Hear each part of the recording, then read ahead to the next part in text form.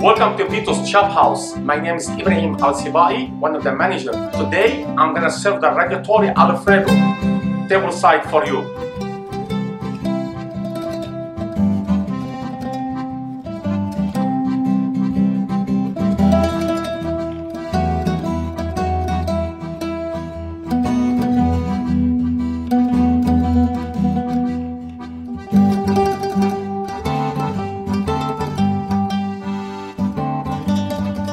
Buon appetito!